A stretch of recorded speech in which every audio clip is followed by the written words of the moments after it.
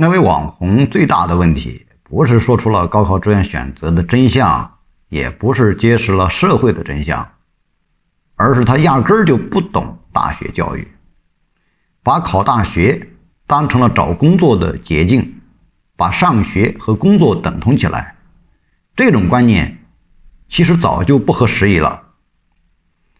真正让人更容易成功的选择，是学习自己喜欢。和擅长的专业，做自己有天赋的事情。人都倾向于求稳，拥抱确定性，但真正能让人突破的是不确定性。一个人如果一味的求稳，选择所谓安全保险的专业，而忽视自己的天赋秉性，结果一定是让那个路越走越窄。当然，追求不确定性，一定是需要承担风险的。可是，一旦突破，路将会越来越宽。不敢冒险，那就不会有大的收益。不过，也应该承认，很多人可能并不知道自己的禀赋和兴趣到底是什么，连自己喜欢什么、擅长什么都不知道，只能随波逐流。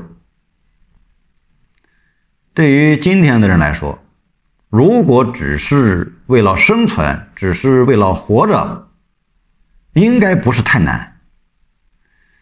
如今大家选择专业都倾向于生存优先，选择所谓平坦的捷径。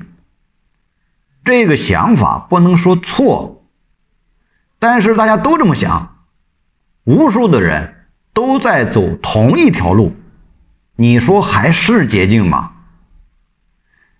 反而是跟着自己的内心，选择那些外人不看好的方向，因为没有什么人跟你竞争，最后倒可能有意外收获。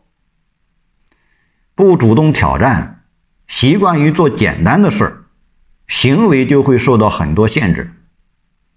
很多时候，贫穷不是命运使然，而是思维的局限导致的，限制我们的。不是外界，而是咱们自身。